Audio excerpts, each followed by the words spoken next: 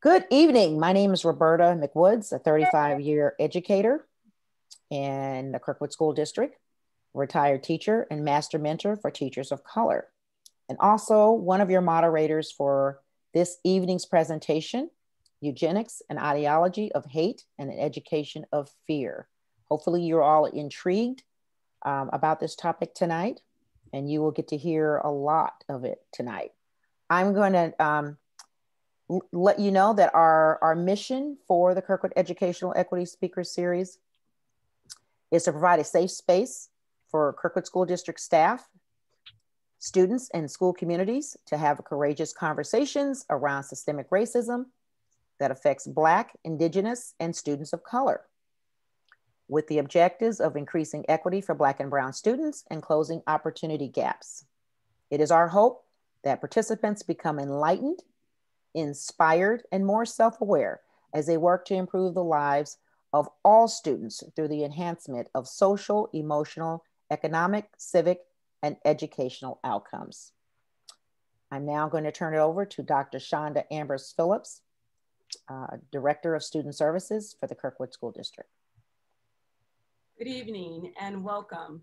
My name is Dr. Shonda Ambers Phillips, and as Ms. McWood said, I am the Executive Director of Student Services in Kirkwood School District, focusing on equity, wellness, and inclusion. One of my responsibilities at the district office is to facilitate the Educational Equity Task Force, which is a group that reconvened in 2015 spring. It was directed by the Board of Education to study and to eliminate the opportunity gap which exists between our white and our black students in Kirkwood School District. Realizing that this work was, um, it encompassed so much more than just our test scores and refusing to view our students in a deficit model, we in the Educational Equity Task Force set out to identify all of the areas which impacted student success.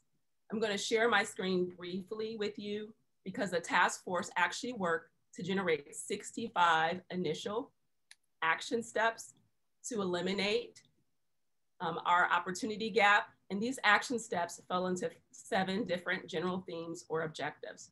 The first thing we wanted to do was to learn from others, which I think is the spirit of our speaker series. Number two, we wanted to ensure that our systems, our practices, and our policies were equitable, which um, we're doing a deep dive into that work right now. Number three, we wanted to engage our community to build shared ownership and responsibility for the success of all of our students, which is one of the reasons why these webinars are open to individuals outside of Kirkwood School District borders.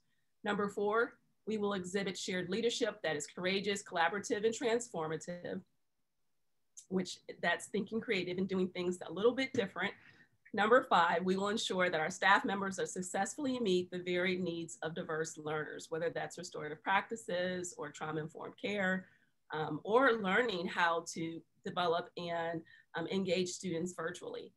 Number six, we will teach into an inclusive curriculum that represents and respects diverse cultures and promotes rigorous and relevant instruction for all. So students can see themselves in the curriculum, through a mirror, and then also they can see um, through windows to the outside world.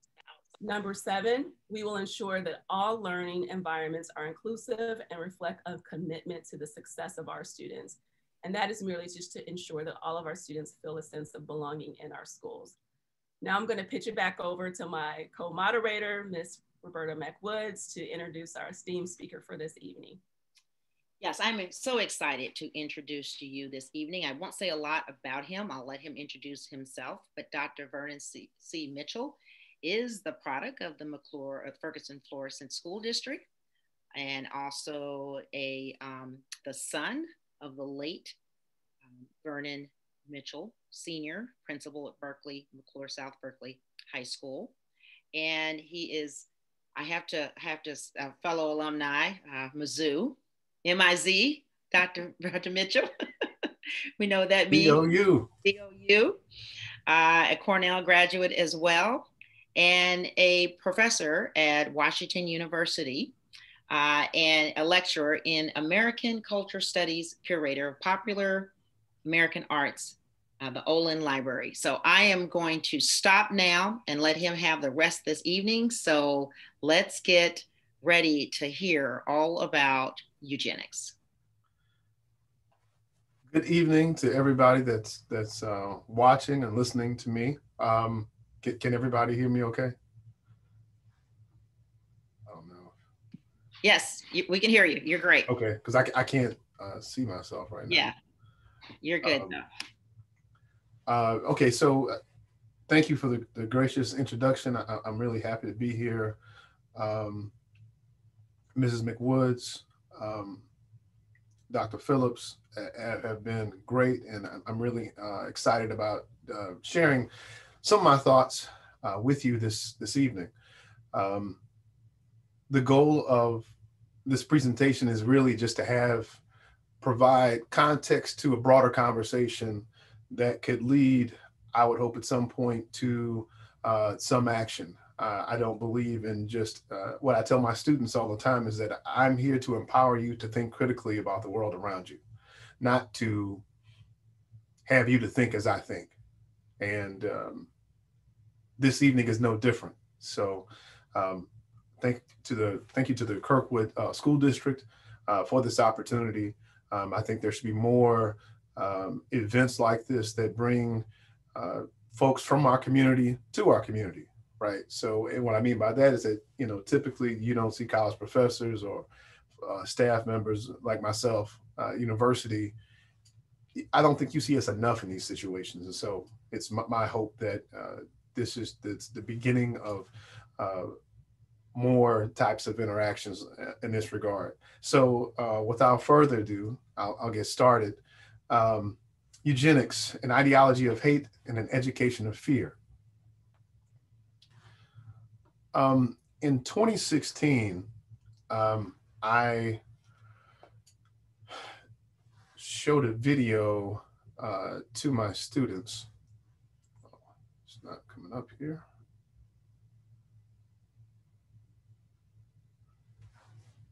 Well, that's waiting to come up.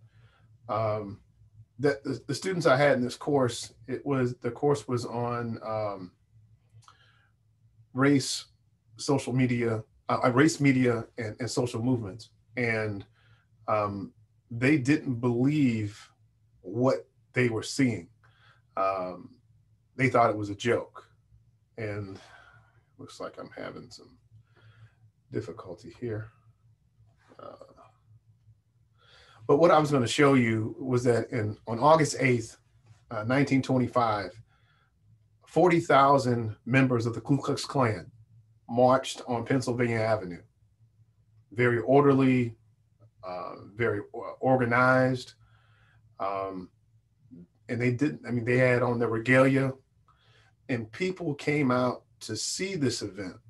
And what you should understand is that this event was not kind of shunned as something that was un American they were seen as quintessentially American at this point. Um, and, you know, showing this to my, my students, um, well, I think I'm having some technical difficulties here.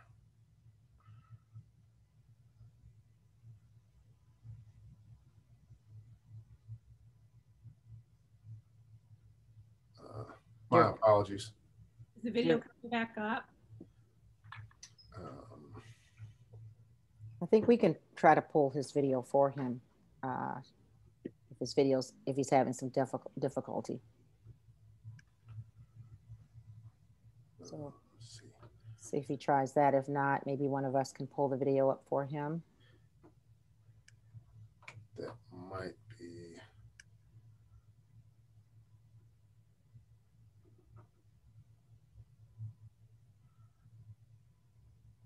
let us know. Okay, I, am uh, pulling it back up again now. My okay. my apologies to, to everyone. Um, Those happen, so we'll just we'll roll we'll roll with it. Okay. Because I think that the video would be very powerful if we can get that up for everyone to see. We'll let you know when your screen is being shared. Okay. Sharing now, so that so the presentation is up. Okay. I, I apologize It's okay. again for that. That's all right. I actually think when I showed my slide, it it knocked yours off, so it's probably my fault. Oh, yeah. Okay, we're good. Okay, we're good. All right, so we're, we're back. So as I was saying, um, August 8th, 1925. Um, and this video will show, because I think it's it's incredibly powerful to see um, this display.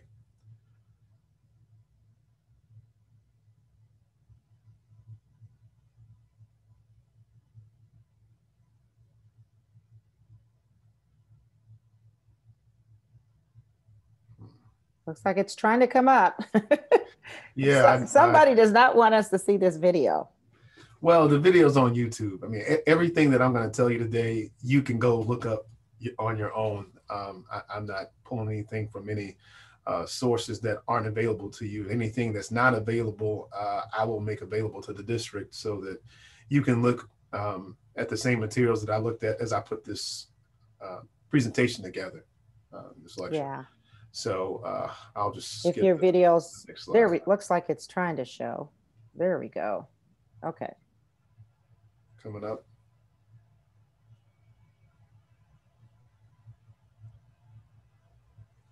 Now, Oh, dear. yeah.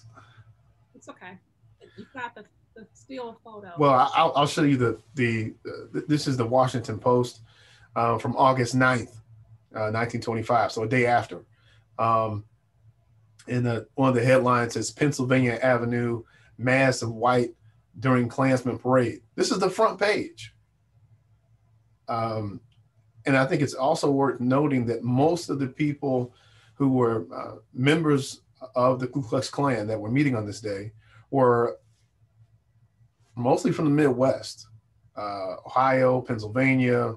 You know that would cross over into uh, you know the, the eastern borders, I should say, in some regard. But um, it wasn't a large representation of the American South, uh, though I think there were some that were there. The majority of uh, these participants came from America's heartland, so to speak.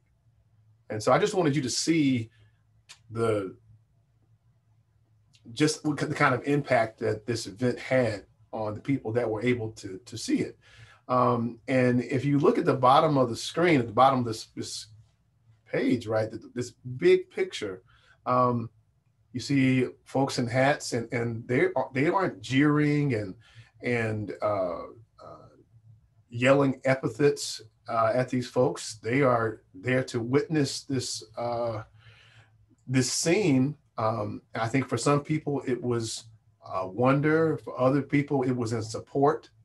Um, and again, this is in D.C. Forty thousand men, women, and children, and they have their masks up. They aren't. Their faces not covered, as we typically think about the Ku Klux Klan. They they are very much proud of their uh, them belonging to the organization. And this has more to do with this moment in American history. Uh, people tend to, to think of the 1920s or the early decades of the 20th century as really, uh, you know, the roaring 20s. America's going through this boom um, in economics. Uh, you think about jazz music, you think about um, Harlem and New York City, right? Chicago and, and in DC. Um, but at the same time, and we think about progressive movements which uh, would think about opening up the body politic to persons and people that have been historically written out or excluded from participation in said body politic. But just as much as there was this uh, excitement about what was happening with America, there also was uh, America had to reckon with uh, these racial issues um, and, and what it meant to be a citizen, right? Who, who was that portal of citizenship open to? Who was going to participate? And this is overwhelmingly telling you that it was going to be persons that were white or believed themselves to be white. Now I'm going to show you a, a quick video.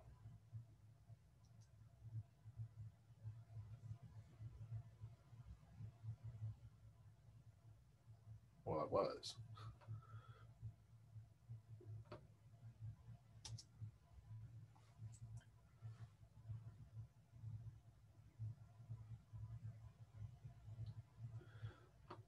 Video's unavailable. Well, we'll keep going. Um, th- what I was going to show you was a um, a whistleblower at a facility, a, a healthcare facility that is on one of our southern borders, and uh, the nurse in question that was working then uh, had alleged uh, part of her whistleblower complaint were that there were uh, immigrant women who were having hysterectomies, um, you know, against their will, and this initially to hear something like this is is you know jaw dropping it is uh very uh it, it's right there with hearing about children being separated from their parents uh, children being in cages. Um and so my point in even mentioning this is that some of the things that we would uh, think about happening in in like at the turn of the 20th century occurring today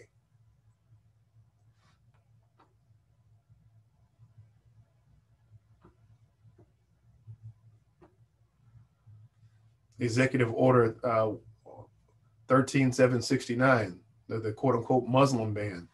Um, Muslims being banned temporarily uh, from entering America soon after 2015, uh, after the uh, Bernardino terrorist attack. It drew heavy criticism, but there were people that supported this. And so this takes me to the part about like what is eugenics. Most people hear this term and they may, you know, uh, in passing say, "Oh yeah, I've heard of that," but they couldn't tell you what it was, right? Um, and that's okay. That's why I'm here to kind of talk you through it. So eugenics uh, comes from the Greek root uh, for good, words, right, and for origin or, or good birth is another way to think about it. And it involves applying principles of genetics and heredity for the purpose of improving the human race. The term was first coined by Francis Galton in the late 1800s. Um, Galton was an intellectual, uh, and most of his work dealt with uh, the field of statistics, psychology, meteorology, and also genetics. And he was a, a relative of uh, Charles Darwin. He was a cousin of Charles Darwin. And most people think of Charles Darwin, they think of the origin of species or the survival of the fittest, uh, that, that term. So I guess he was keeping it in the family. One of the things he says in um, Hereditary Genius is that consequently, it is easy to obtain by careful selection a permanent breed of dogs or horses gifted with particular with peculiar uh, powers of running or doing anything else. So it would be quite practicable to produce a highly gifted race of men by judicious marriages during several consecutive generations. So, what he's saying here is that he believes that they can create a uh, almost like uh, super people, or they're trying to uh, breed humans for, you know, uh, for intellect, for uh, and he's making this correlation between the way that animals are bred. Um, and I grew up around horses, so I, I, you know I know that people look for different traits in animals uh, when they want to uh, see that in another generation, to have temperament, to have um, a mentality, uh, but to see this applied to people again is very jarring. But this was you know an accepted practice at the time and this is um, Galton was in Europe. He's in he's in uh, in England, as a matter of fact. So he is thinking about this in terms of how do we make the best version of ourselves. But inherently, there's a problem there, right? Uh, what if you don't fall into the realm of what they believe to be their, you know, uh, their equals? Um, so this movement uh, or eugenics as a as a term or as a, as a study comes to the USA, um, and it be, it becomes a, a full blown movement, an intellectual movement and a social movement, and it took root, you know, in the early 1900s. Uh, Charles Davenport was a, a key figure. Um, he was a prominent uh, biologist. And then you had Harry Laughlin, uh, who was a former teacher and a principal. And so he's an education piece coming in, who was interested in human breeding.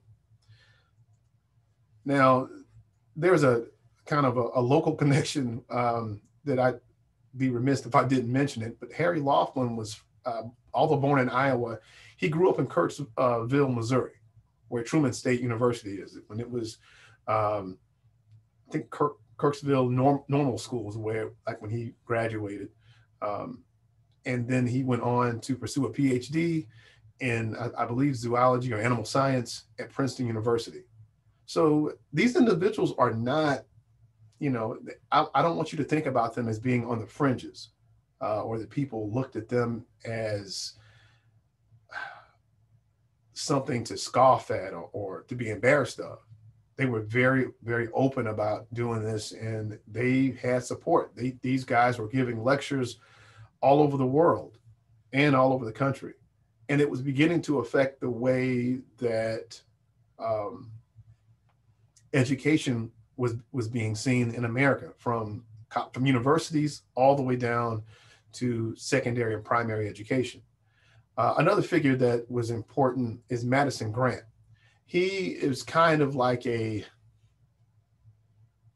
uh, he, he speaks more than than most of, of these individuals. And in his book, The Passing of the Great Race, becomes like a quintessential like must read by folks who believe in this type of ideology um, and uh, the full name is the passing of the race or the racial uh, basis of european history um, and the, the picture i'm showing you is the inside the jacket cover and it's you know i think it's a fourth edition by this point fourth revised edition with a documentary uh, a documentary supplement so in this 1921. So this is popular, right? This is not just again somebody on the fringes uh, that people are, are, kind of looking at and you know rolling their eyes. They are very much interested in doing this. I also must take a moment to talk about the notion of of uh, Darwinism, right, happening at this moment. I kind of mentioned it earlier. Uh, Charles Darwin, the uh, fittest, uh, survival of the fittest, but this becomes a, a very uh, seductive mentality amongst some nations to develop, or intellectuals across the world that believe at this point that we have to create uh, the best version of ourselves physically to develop these, you know, uh, and, and there's of course uh, these heteronormative, you know, uh, things that are happening here. Of course, all these men that I'm, I'm telling you about, the people, individuals I'm, I'm telling you about are, are white men. Um, and this pseudoscience that they create, because none of this stuff that, that they say and articulate is scientifically true, but it lays the foundation for things that we'll see later, like the bell curve. Uh, when we think about intelligence tests, all this stuff was predicated on on these early uh, writings and going back to Galton to now. Uh, on some level, you might say or, or might want to think that well, maybe it was developed in a particular ignorance about uh, well, how can we manipulate genetics to do a certain thing? And if that was the case, well, why don't you talk about that for everybody? How do we do something that can um, ensure health and well-being for all humanity? They aren't talking about that. They are only talking about people that look like them. Um, and then uh, I should also say that in Europe, it was more so predicated, uh, it was centered around class. So Galton did not want to, uh, he, wanted to develop the, this master race, so to speak, from the social betters, those uh, elite members of uh, European society, of, of, of uh, English society. When it comes to America, it's not just about um, how do we become better or this class uh, differentiation. There's also a racial component that is much different and in some respects much more insidious. Um, and that becomes the clarion call for when you see, so I go back to the, the, the, uh, the Ku Klux Klan marching in, in Washington, D.C. in 1925. In 1915, 1914, you have D.W. Griffith's Birth of a Nation. Uh, Birth of a Nation was a film that was uh, mentioned by Time Magazine to be the most important film of the 20th century. It also, and, and so it, it, for those that have never seen it, it details the, the, the rise of the Ku Klux Klan and why it's important. The protection of, of whiteness, there is a, it is honestly probably the most um, successful piece of racist propaganda ever created. And those images that were created were endearing and they still sit with us today. The archetypes that were created around African Americans as being lazy, as being uh, um, intellectually inferior, as being uh, uh, like uh, lustful and uh,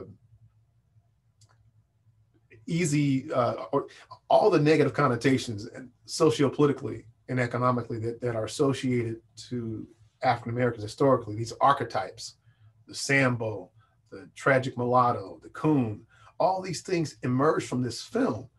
That film also helped to shore up the eugenics movement at the same time.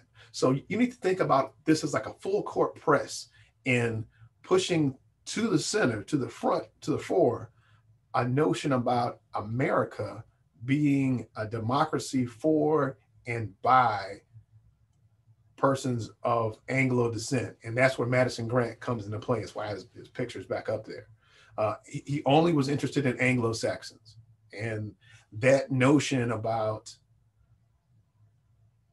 uh, success of, of, of America, when you hear America first, um, this is the, the beginnings, the rumblings of that. And it's emerging in these organizations like uh, Ku Klux Klan and, and some others. Again, so uh, Madison Grant and um, Charles Davenport, Harry Laughlin, they are all uh, part of an organization um, that begins to I mean, like they're accepted as again part of of American uh, society, not as some kind of offshoot or some like all oh, these guys are crazy. Why are they even doing this? It was accepted.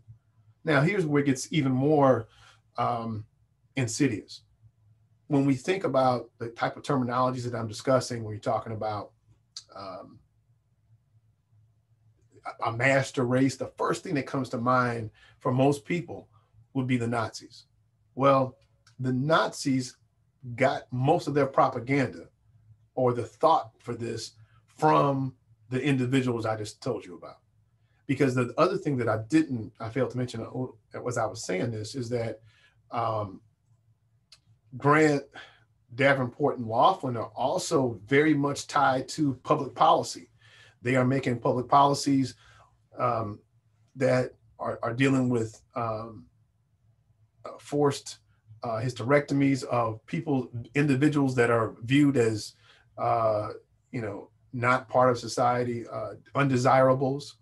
Um, and Hitler sees this and begins to use this for immigration into Germany.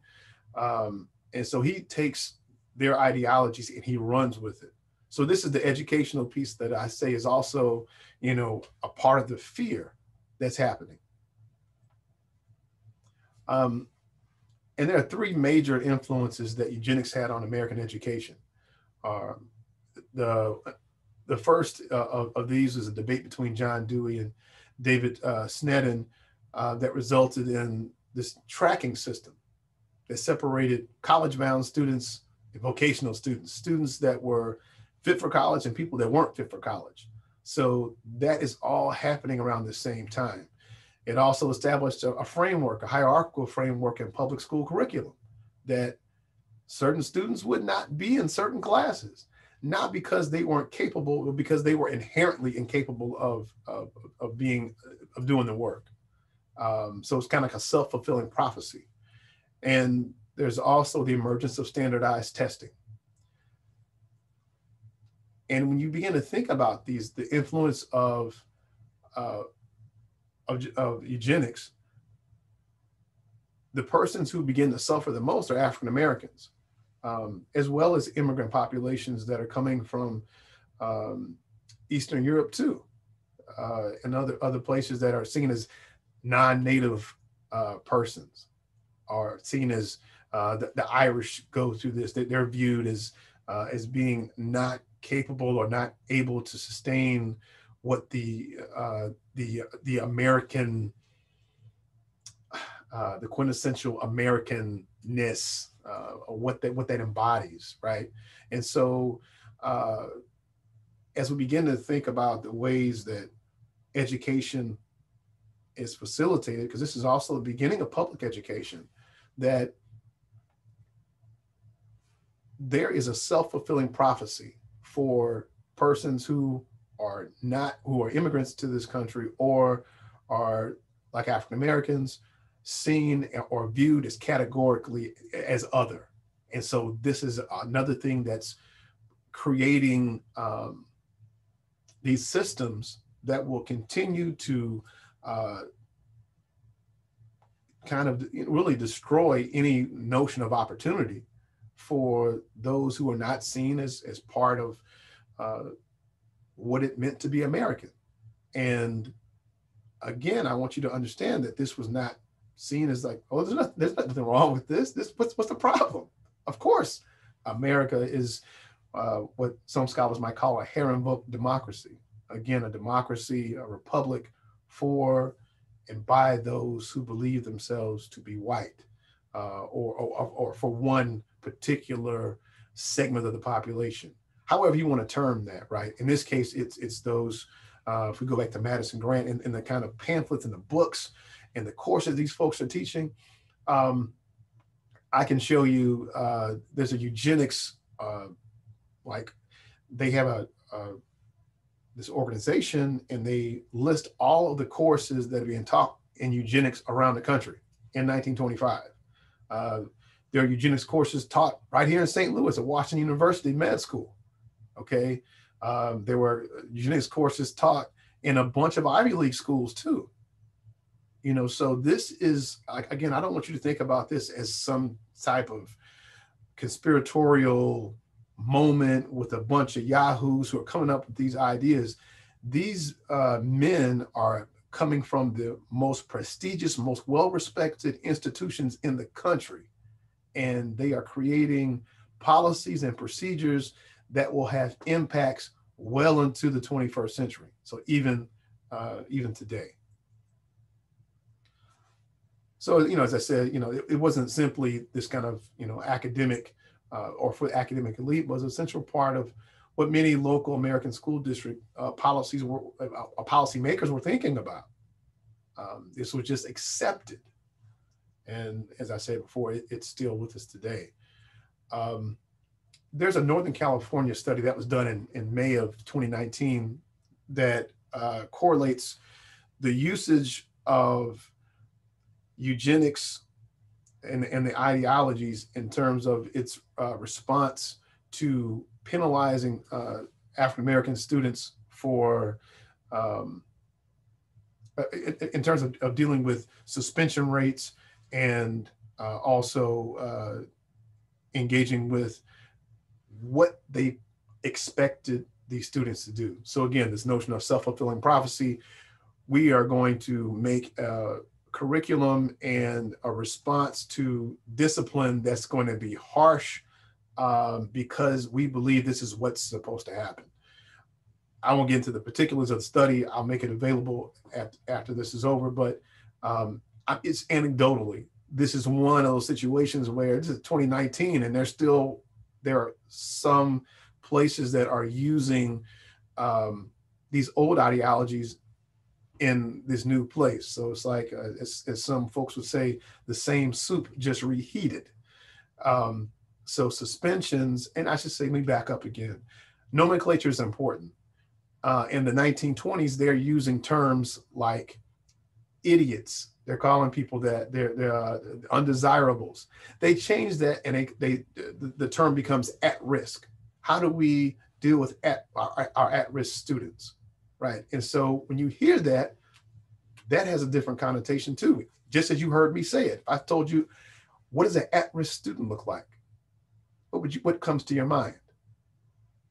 So again, just an, another way that you you see these ideologies continually being part of of our education. And it's also part of the memory of the nation. Because if we look at the the recent election we see that over 70 million people were okay with policies that were created by the current administration. That's not to speak ill of or support of that administration but just to say that there are people who are okay with it. That wasn't a deal breaker for them, right? To see this type of, of ideology, to see this type of um, these policies being enacted. But I want to show you something. hopefully, this video works. Um, this is Professor uh, Eddie Glaude, who is uh, the chair of the African American Studies Department at Princeton University. Um, and Vernon, if it does not work, I did pull it up and I'll share my screen. So Awesome. Having, Thank you. we're having so many technical difficulties. Yeah. So, I, I, again, I apologize for that. No, it's not your fault. It just happened. So let's try it. And if not, I will uh, get uh, my video going.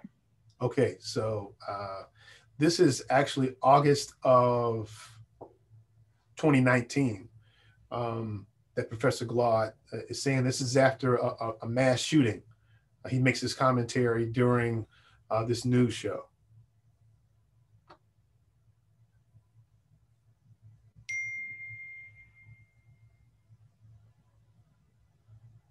I think you may have some of the same issues going yeah, on. I think if you could share your screen, I think I'll share my screen and okay. we'll we'll um, we'll uh, we'll get it going because I this is this is a pretty powerful video.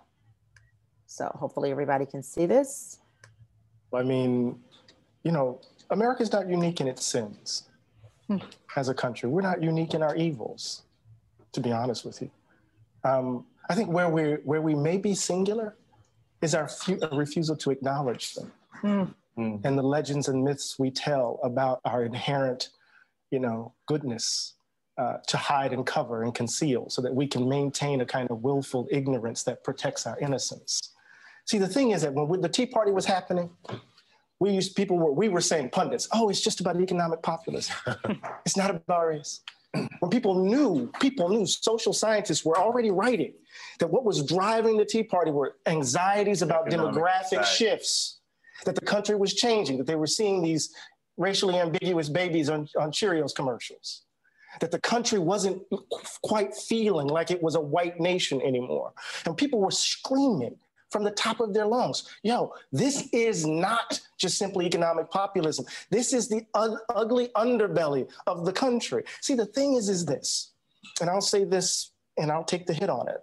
There are communities that have had to bear the brunt of America confronting, white Americans confronting the danger of their innocence. And it happens every generation. So somehow we have to kind of, oh my God, is this who we are? And just again, another, here's another generation of babies. Think about it. The two year old had his bro- bones broken by two parents trying to shield him from being killed. A woman who has been married to this man for as long as I've been on the planet almost lost her, lost her husband. For what? And so what we know is that the country has been playing politics for a long time on this hatred. We know this. So it's easy for us to place it all on Donald Trump's shoulders. It's easy for us to place Pittsburgh on his shoulders. It's easy for me to place Charlottesville on his shoulders. It's easy for us to place El Paso on his shoulders. This is us. And if we're going to get past this, we can't blame it on him. He's a manifestation of the ugliness that's in us. I've had the privilege of growing up in a tradition that didn't believe in the myths and the legends because we had to bear the brunt of them. Either we're going to change, Nicole, or we're going to do this again and again, and babies are going to have to grow up without mothers and fathers, uncles and aunts, friends, while we're trying to convince white folk to finally leave behind a history that will maybe, maybe, or embrace a history that might set them free from being white. Finally.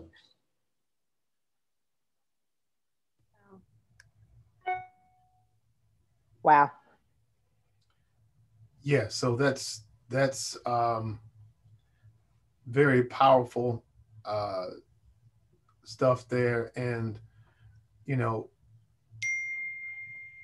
I think that Professor Glaude is right. How do we begin to deal with the situation that what we're currently in when we look at um, American education? Um, and a lot of it is is predicated around how can we be prescriptive in this moment to better serve uh, the students in public education, you know, across America. And so the question I think we are dealt with that we have to, to deal with, if, if we believe that this is us, now what are we going to do about it? And I have been uh, I, I've been able to be where I am and be who I am because there were a coalition of folks that believed in me and pushed me when I wanted to give up. But how many, how do we get to a place where that is the norm and that's not the exception? Um, I called this, I, I, I termed this uh, as I did um, this presentation because I think eugenics arose because those persons who believed in it needed something. They created something to help them deal with whatever guilt and anxiety they had.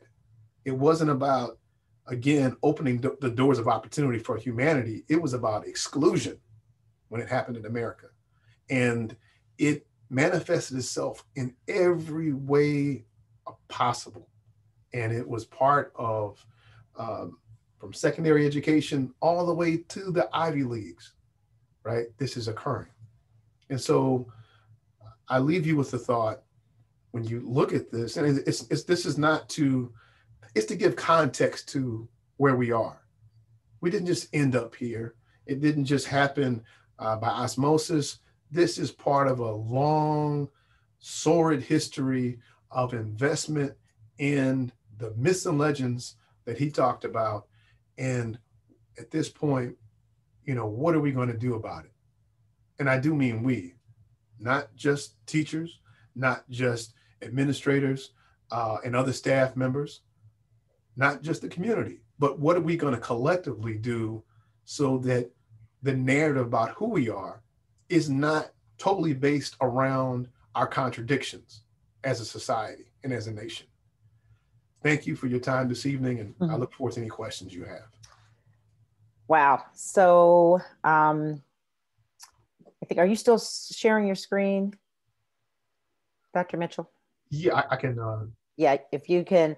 So we have some questions that we, we would like to unpack, and, and hopefully you all have some questions. And like I said earlier, no question is too silly to ask. I mean, maybe there are some things that you didn't understand um, that didn't make sense to you. Uh, please feel free to use the chat uh, to, to um, unpack that questions. But we have a couple that we are going to ask you, um, uh, Shonda and myself, before we take some questions from our attendees. Dr. Shonda Ambers Phillips, would you like to go um, first? Yes, um, Dr. Mitchell, I just want to let you know that I dropped both of those videos in the chat. And so people will have an opportunity to go back and see Thank the video um, from uh, 1925 of the Klan, and they'll also have the video. I found the other video um, as well. And so one of my questions is going to speak to that original video about the march um, in, on Washington. But the first question that I have is this summer, our Kirkwood community had an opportunity to participate in a book study um, How to Be an Anti-Racist. And it was Ibram X. Kendi's uh, book. And the text specifically spoke to racist policies. Um, and he defined, Kendi defined what that actually means. He says it's any measure that produces or sustains racial inequity between racial groups. And so he talked about these policies could be written or they could be unwritten. They could be rules, procedures, processes, regulations, guidelines that govern our people. And so thinking about students and policies, uh, no school district sets out, there's not an intention to, you know, create racist policies, but we do know that students are disproportionately impacted by some of the policies that we have in, in, in districts. And so how does this affect American education today? Um, you spoke about discipline as one of them. And how, how might we see ourselves as like change agents to operate different? I, that's, that's a great question. Um, and it, there's no uh, real simple answer to it. Um, but I think that at the, the beginning part of that has to be centered around um, personal investment in being a change agent, right? How do we get to that place? Um, I grew up in public education in St. Louis County in the Ferguson Florissant School District. Shout out to anybody from Ferg Floor that is uh, watching this that knows me. I knew my dad. Um, and I can honestly say that my teachers were invested in all of our successes, right? Um, the kids that were performing really well, that was great. But I saw teachers who were invested in making sure all the kids were great relative to where they are. And I, I think that when we make policies that are punitive, um, that don't take into consideration uh, the context to a student, and, and let me take the student part out. When you take out the context to a child's life, because student makes it seem like it's not a person when you say child, it begins to resonate with you a different way. And kind of like one of the last slides I said, what are we going to do? We have to have that we has to talk about these kids. What are we going to do to help our kids? And I don't think that American public education has to be like a silver bullet to fix everything. That, that's not what I'm suggesting at all. Um, but when I look at what my dad and his generation did for those folks that, that, that, that were in Kinloch Public Schools. Shout out to Kinloch. Um, I'm part of that legacy and I wear it proudly. Um, th- that was a situation where, you know, my father and anybody that used class in 1970, so shout out to them too. But they always, I was so jealous of hearing these stories about these teachers and these administrators who were invested in them in ways that I had I, I, dreamed about that happening. And I had a really good, you know, education, without a doubt. I cannot complain about it at all. But I think to deal with our current moment, we have to look at the whole child and how do we put resources in place to allow that child to be its best self, right? Um, as as they deal with the the, the, the myriad uh, facets of their identity and their own righteous mind how do we put them in a place to succeed right? Um, as teachers as administrators as as staff persons as parents right? It's not just like i had really active parents. And, and anybody knows my family know all my cousins we you know you always saw mitchells up at the school well for persons that don't have those active parents you have to have active active teachers. You have to have active, right? You get where I'm going with that. And so I think that's the investment that has to that has to be at play. And, and some people will, will, will, say, well, I have sweat equity in, in, involved in this. I do for my students. I, I'm not saying that people don't do that. But if we're going to keep having these discussions uh, in that the study that I that I talked about that was uh, out of San Francisco. Um, the, the, the, the, the person that wrote it, the author, bemoans that every uh, summer they would look at the attendance rates, they would look at the uh, suspension rates, and they would be left feeling like they had not done anything because the achievement gap was increasing right? Uh, especially for uh, Latinx and African American students. And so, how do we address this? And I think that's what really what I think your question, you know, gets at. And so, I think the policies that are created have to be policies that take into account the whole of a person, the whole of, of, of, a, of a child, and the whole of their parents, you know, the, the household that they're coming from. Again, the takeaway is not to say that if we do this, American education can save every, no. This has to be all hands on deck all of the time. And when people get tired, I know folks who are in secondary education, and, and some of them are tired. Um, just like we talk about heroes that are, are in, in, our emergency and trauma rooms, um, uh, hospitals, especially in this moment, you know, our educators are in a, a similar position. And guess what? So are parents. And so, how do we create a situation, a platform that empowers everybody or allows for a voice uh, to exist that empowers folks but also creates a sense of accountability and activeness, like an engagement with this child, so that child can be, uh, again, the, the best version of itself. Thank wow. Thank you. So there are there are quite a few questions. I'm I'm gonna I'm gonna ask this one before I uh, take a couple of questions that were sent to me. Um, we talked. You, you spoke earlier about the standardized testing, and that's always a big issue. Standardized testing. Um, and, and, and I know we've learned through COVID that there were some universities that decided to waive the SATs and ACTs. However, um, they were not really for the reasons that we we've always known that they're biased, that they're racist, mainly because of the situations with COVID. Um, as we look at how eugenics movement kind of rushed into the American education system, it created the believers, and it didn't with very little evidence. And so they created these standardized assessments like IQ tests to demonstrate that white students are superior. As we know, the SAT and the ACT are also forms of this movement and are biased. What do you think are some alternatives um, that should be used to replace these, these bias assessments? Another really great question. Um, and it, it's something I think about. It's something I actually uh, dealt with when I was in, in high school um, you know, uh, I eventually got the score that I needed on the ACT, but the first couple times, you know, I, I, didn't perform as well as my teachers and my parents, especially my father, thought that I would perform. Um, and some of it is, is like exposure, right? So how, when we know that these biases exist, how do we deal with them? Um, and maybe a, another part of standardized testing that we're not talking about it's really hard to come up with, I think, a, a blanketed system that measures performance.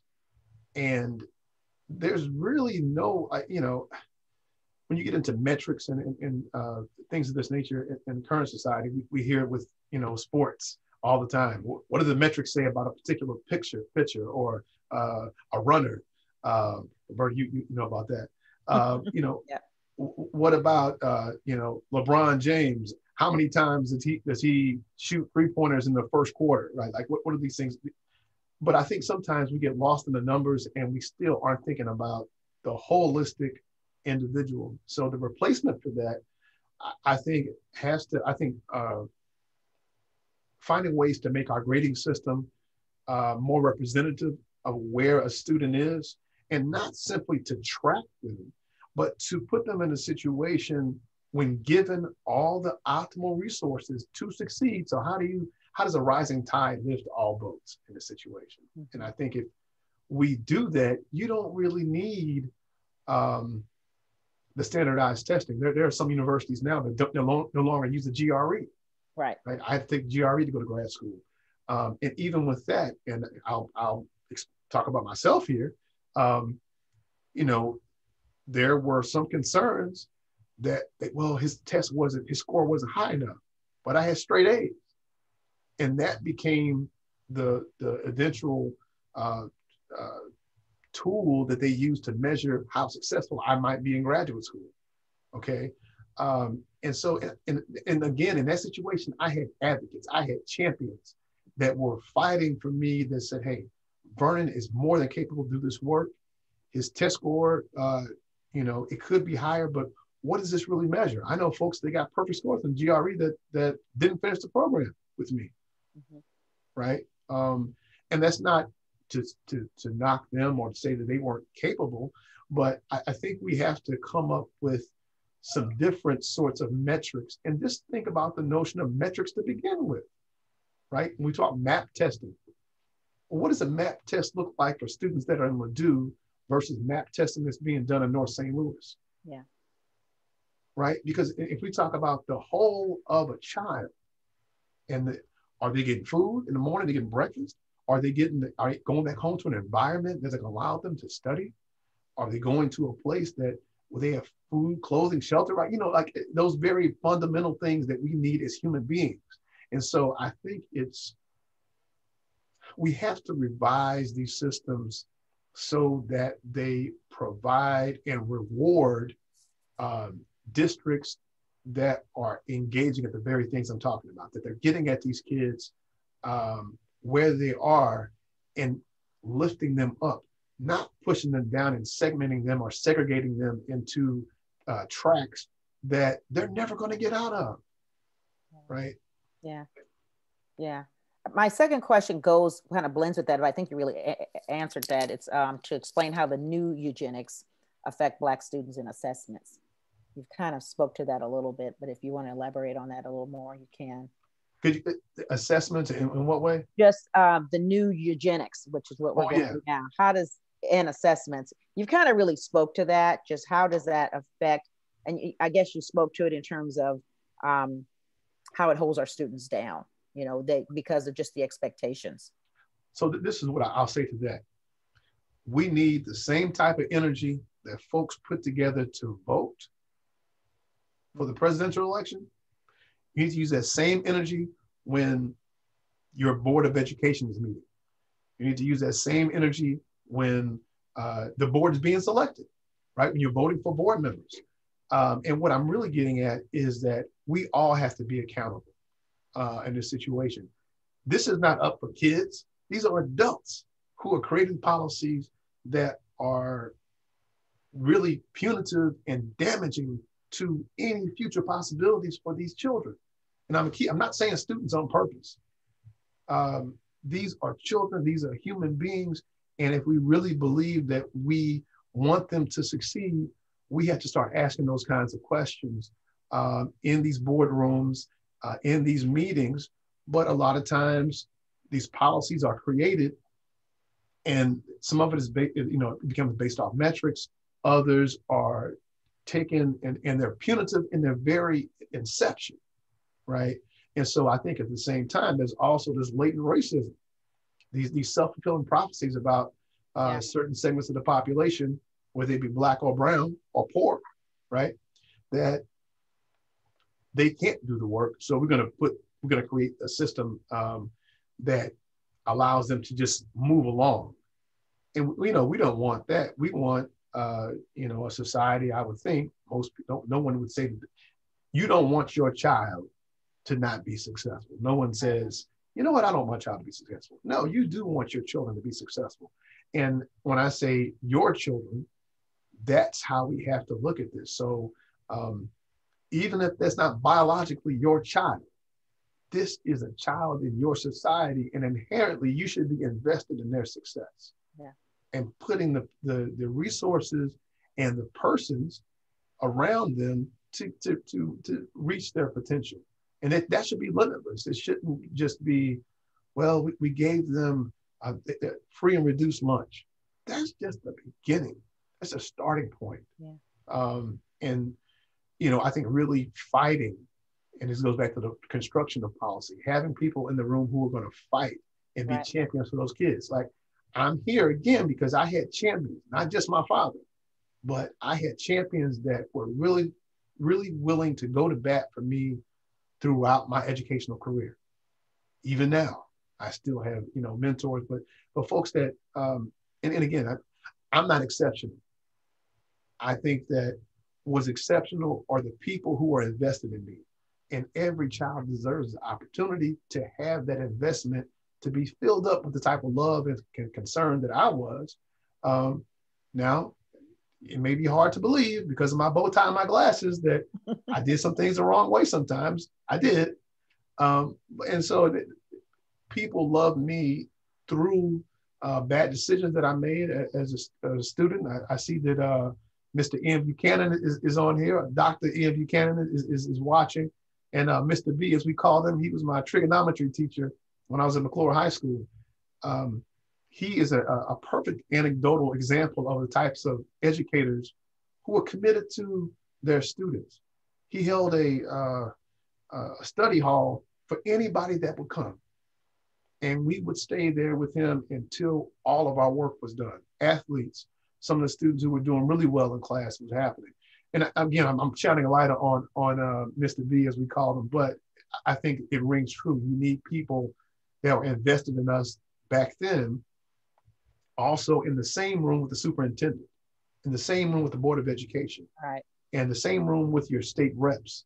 So that when things go awry, and they are, are leaning on these ideologies that are predicated on pseudoscience, who's going to be an advocate for these kids and really be an advocate?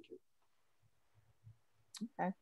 So um, we're now going to take some questions that we have that have um, actually, some have actually been texted to me as well. Um, and Shonda, um, if you want to, yeah, let's take some from the chat and then we will go from there.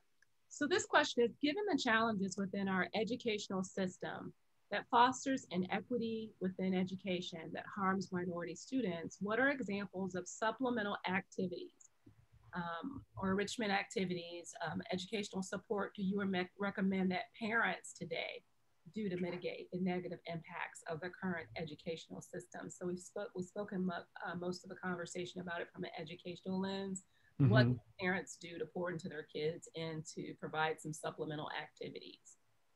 Um, supplemental, sorry, supplemental activities, I think, you know, kind of run the gambit.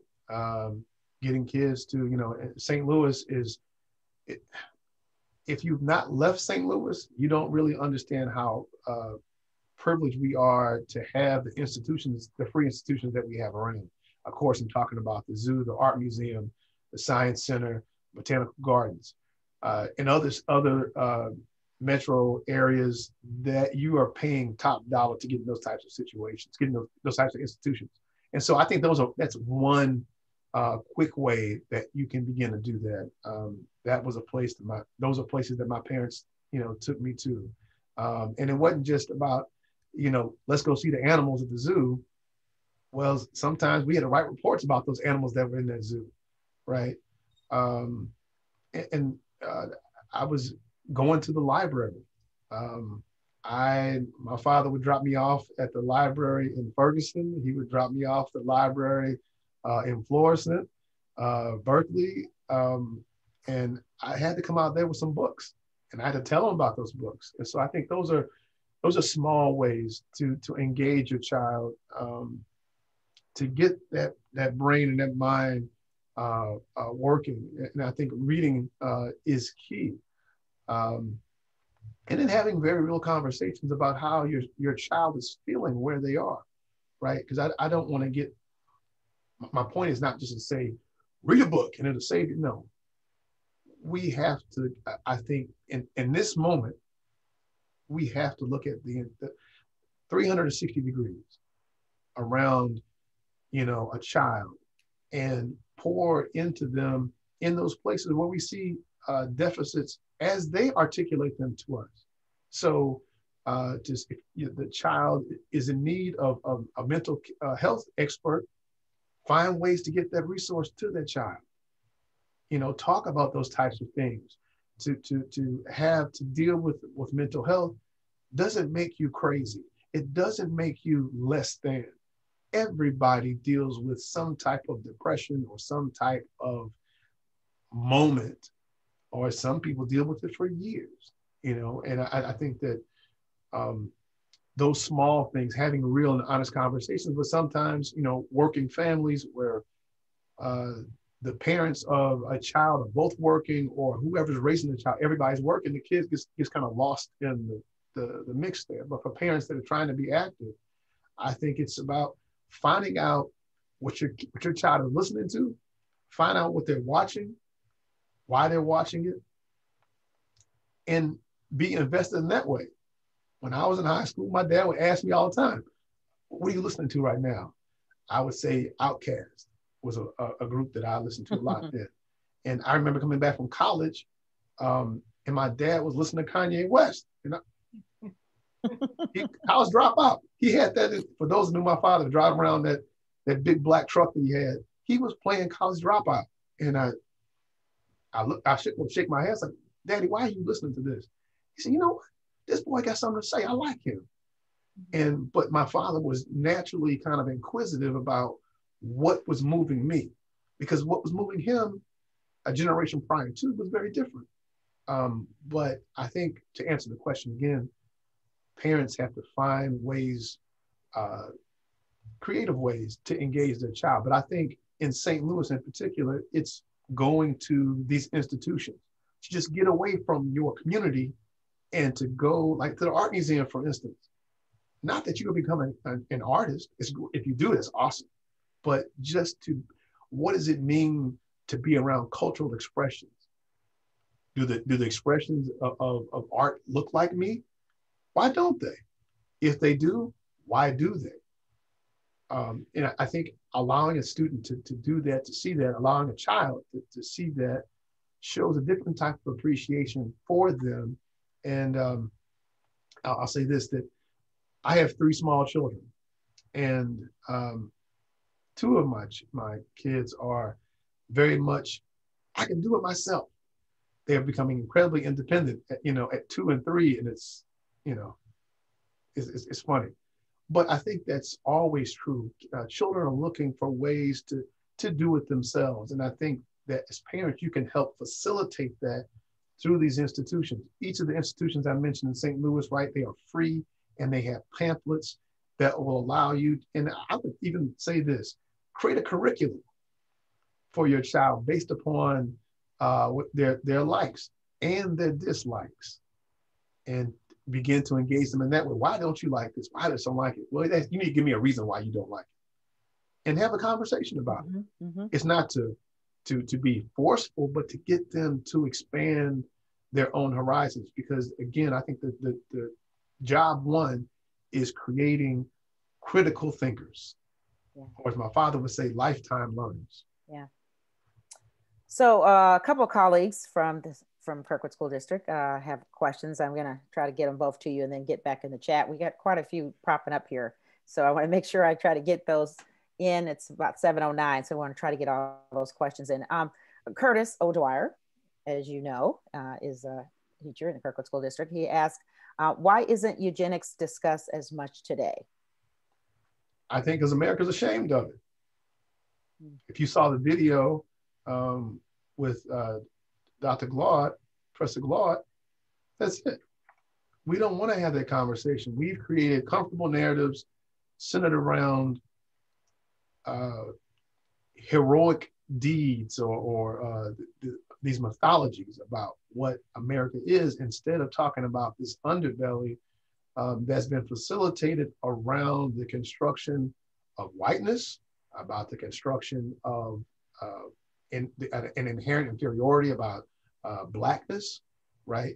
Um, and if we address them, right, like he says, we can be freed from this. We can begin to get free from it. I mean, it won't just mm-hmm. happen in a snap of a of a finger.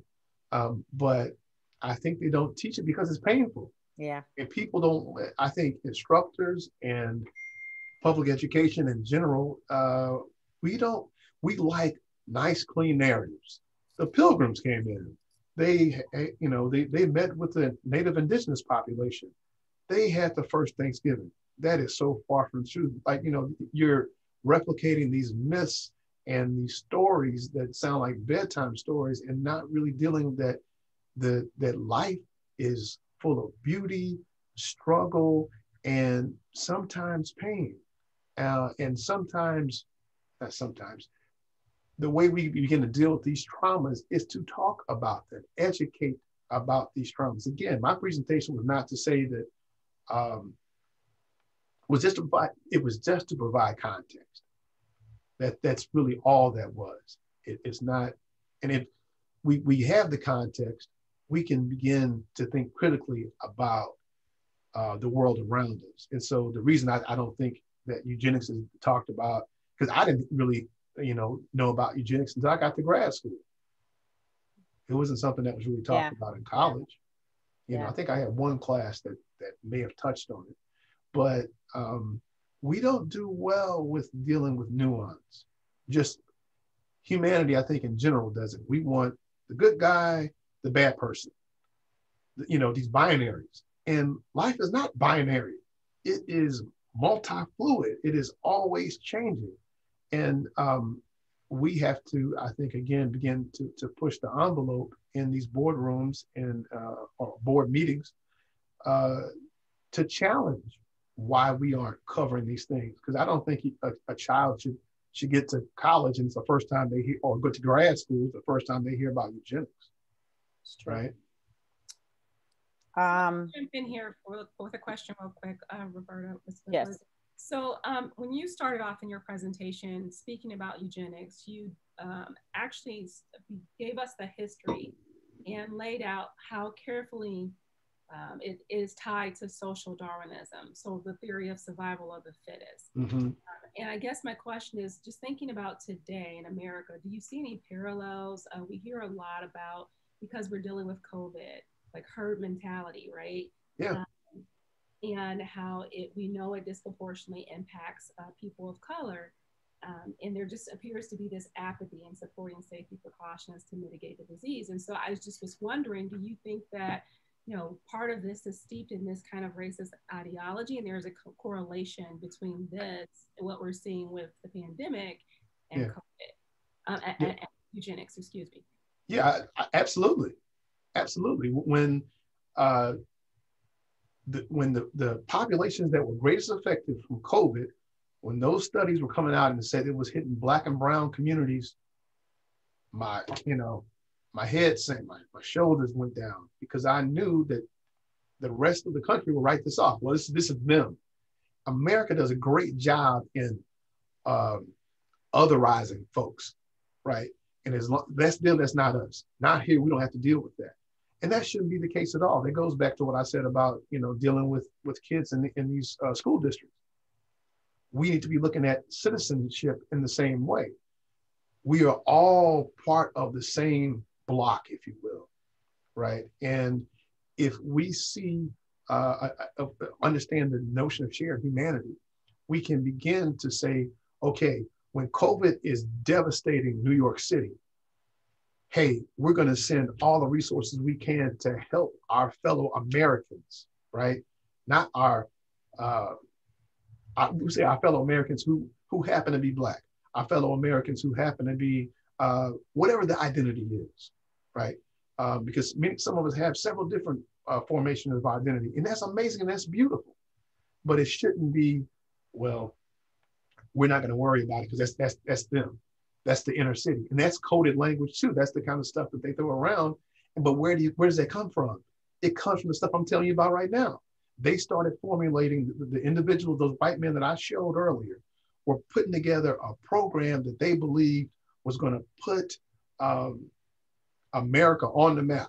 We're going to create this perfect society. And the society in which they were talking about was not inclusive, right? Mm-hmm. Um, and so when we see this happening, you know, in our present situation, we have to call it out. That's what's happening. Um, the response to COVID, I believe, would have been very different if it had been happening in rural areas and the Great Plains, right? Because you look at um, South Dakota, North Dakota, Montana, those places are all red with COVID when you look at those uh, scenarios. And, you know, they also are hospitals to capacity, right? Or hospitals have been closed, so they're coming into, into urban areas. We see that happening here in St. Louis. You have people from uh, rural areas coming into Washington University to take advantage of, you know, world-class care, as they should. Um, but when we when one of us is is hurting, we all should be hurting, right? It, it shouldn't be like, oh my dear, look at those. No, it should be how can we help? Mm-hmm. But a lot of times um, we don't do that. That's not how uh, we engage, and it even happens in in, in uh, here in St. Louis, right? Yeah. You know, how is my school district doing? Well, what about that other school district over there? if if Rock uh, Rockwood is doing something, St. Louis Public needs to be in that same place. Mm-hmm. And if it's not, why isn't that case? Right. Kirkwood should be having the same numbers that Jennings does. And if Jennings is not where Kirkwood is, how do we make sure that those children can, you know, how do we address these gaps that we're seeing instead of most of the times though, uh, the response to, to the gap is punitive discipline, right? And that is predicated on us. Now, if that was flipped and, and let's just say that the test scores in, in some of the school districts in St. Louis that are, are not performing that well, if that was happening in a place like Ladue or Clayton, what would happen? Yeah, All hands on deck. We're gonna we're gonna yeah. deal with this. We're gonna right. Why don't you have that same energy when it's, it's, it's other people that that that uh, don't look like you or live in a different location? Mm-hmm. Those are the and why is that the case? Because just like going back to Dr. Glaude again, we're gonna be back here every generation dealing with the same thing. Because we really don't want to be free. We want to live in a, in a, a dream world where there is no real engagement with the righteousness of somebody's very existence. Everybody deserves the ability to be able to be the best version themselves. I keep saying this because I believe it. But when you strip them of that and you say, well, well look at those people. Why is that the case? Well, let's let's look at the at the environment that they're that they're coming from, right? Because the first thing that comes up is personal accountability. That's what people throw out. Well, if they've taken more accountability, well, when you're in a situation when you're uh, intergenerationally impoverished, you know, it, and it's not you know the, the notion about well, um, uh, we, we can get out through sports or through these other things, and those are myths and legends too yeah.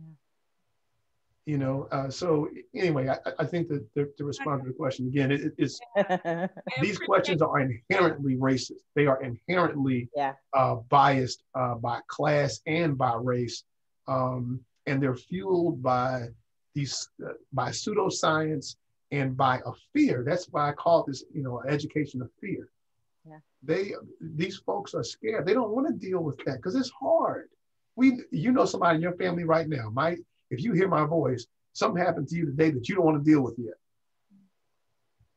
Okay, that's just uh, that's just human.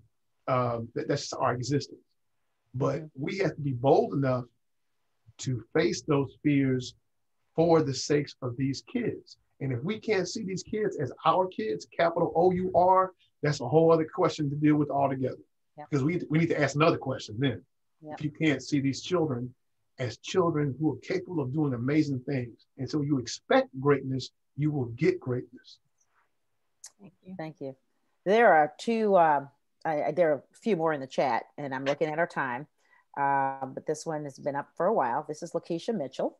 I think you know who Lakeisha Mitchell is. Hey, cuz. Uh, she asked Dr. V. Calvin Mitchell, given the challenges within our educational system that fosters inequity within education, that harms minority students?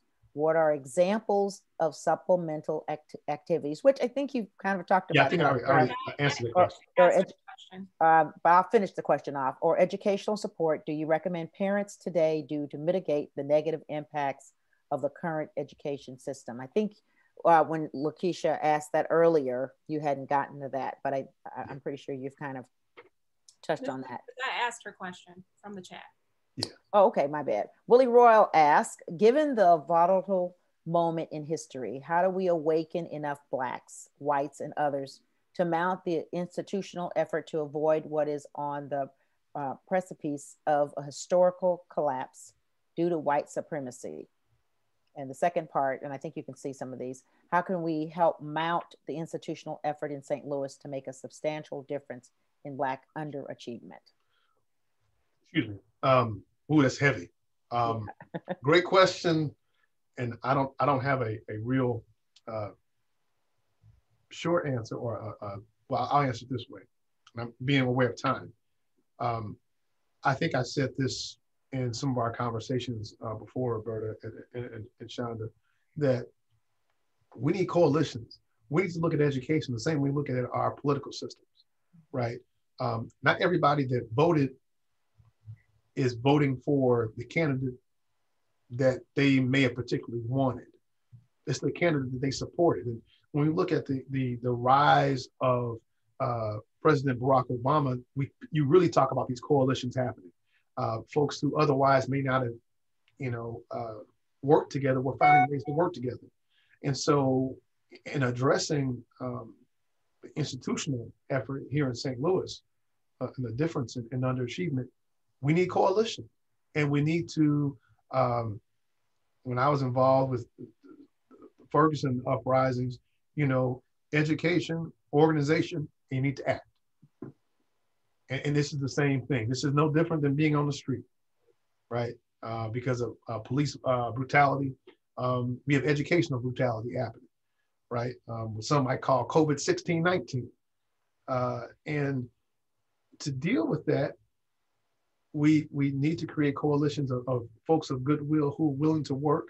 And then, uh, you know, I think the same way you canvass for a, a political uh, uh, candidate, you canvass for education. You know, what, what do you need and, and how do you find out what's important to parents? Um, and then find innovative ways to make them part of the conversation one of the things that we've learned in this COVID environment is that we have a presentation like this right now. We are not all in the same place, yet you are listening to my voice and we are engaging in uh, an exchange about issues that are important to us, right? So uh, I think the same thing has to happen to begin to dismantle the effects of these systems. And, and I'll say this, we need to remember that these systems, structural uh, white supremacy, structural inequality, these systems are not just maintained by policies and statutes, they're maintained by people who wrote them, yeah. people who enforce them. And so my point is, it's people, right? These systems are, are and even like ourselves, we're part of, of the system at the same time. So how do we begin to speak and move in a way that allows for equity and equality in a system that you know, I won't say the system is broken. I think the system is working just the way it was supposed to work. Um, one of the things, and this is maybe kind of an aside, when you attach education to property values, there's inherently going to be a problem there. That some places are worth more than others. The amount of money spent, and I can use Kinloch as an example. When Kinloch was, it was like 1965, how much they were spending per child and how much was being spent in Clayton per child, you know, it's like four or five times what they were spending in, in Kinloch. Well, why is that? Because they had more uh, uh, uh, tax infrastructure to build from. But the problem with that is that you, you're going to inherently always have inequality. So we have to come up with a different way, uh, you know, to kind of equalize or have a, a, like you see this with, with some professional sports profit sharing, right? So whether I'm at Vashon, I'm at Kirkwood, McCluer, South Berkeley, or you know Hazelwood Central, right? I should be able to get the same level of resources and education uh, for that student for that child. But that's not what happens though. And so I think to address that, you have to find out how these decisions being made, right? That's the education piece. You organize, okay, they have a bond issue coming up. You get folks to um, the, the, to the booth right? And then the action is the franchise. That is still in American society the most valuable asset we have. And some people will continue to say that my vote doesn't matter. You know, my one vote is not, if your vote didn't matter, folks wouldn't be working so hard to take it from. Hmm. If votes didn't matter in North St. Louis, they they wouldn't even be, we wouldn't have this conversation, right? But they do matter.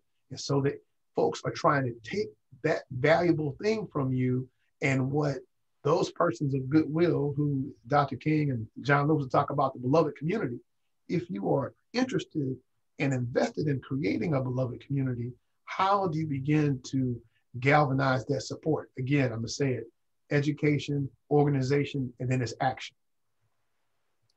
So uh, before you ask uh, the next one, um, we have about mm, four minutes left and we've got some more people in the chat. And I, at the end, I do want you to give some sort of call to action on what we need to, what, what, you know, kind of what can be done mm-hmm. or how do we look at this? So, um, uh, Shonda, would you like to get the next couple of people in the chat and then we, then we'll close it out because there's some really good questions left. Theme, I think you were already kind of uh, talking about this. And so just to expound on it a little bit more, the question is, do you think that redlining, racial covenants, and the like um, are types of systemic geographical eugenics?